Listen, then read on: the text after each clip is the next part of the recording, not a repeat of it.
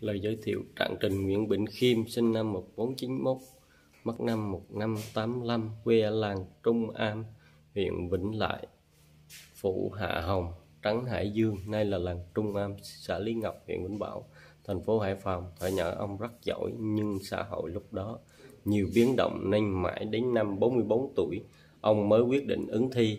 Ông lên liên tiếp đổ đầu các khoa thi hương năm giáp ngọ, thi hội, thi đình và giành học vị trạng nguyên.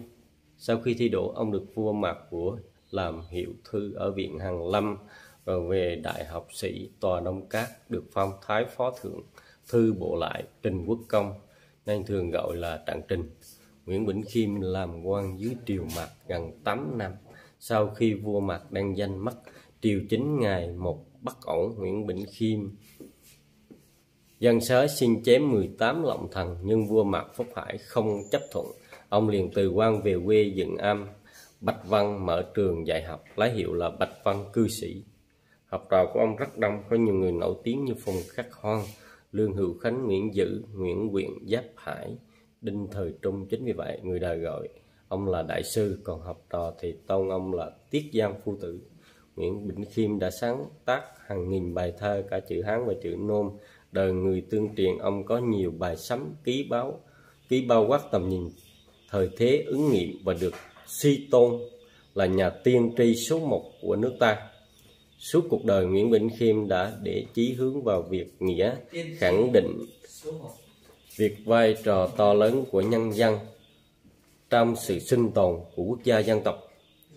Tư tưởng lớn căn bản của ông là luôn lấy dân làm gốc của lai quốc dị dân vi bản đắc quốc ưng tri tại đắc nhân. Mặc dù sống cuộc đời điền viên, nhưng lòng ông vẫn đau đáu nỗi yêu nước, thương dân mùa đông năm ất dạo. Ngày 28 tháng 11 năm 1585 niên hiệu Diên Thành thứ 9 ông mất thọ 95 tuổi.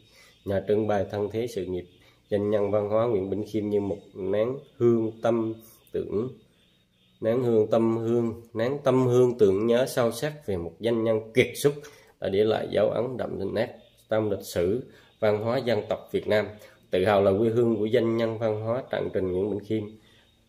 Đảng bộ và nhân dân huyện Vĩnh Bảo, thành phố Hải Phòng đã và đang sẽ làm hết sức mình với tất cả tấm lòng thành kính đối với danh nhân để đưa những giá trị tinh thần của di sản đó đi vào cuộc sống. Trân trọng cảm ơn. Hẹn gặp lại.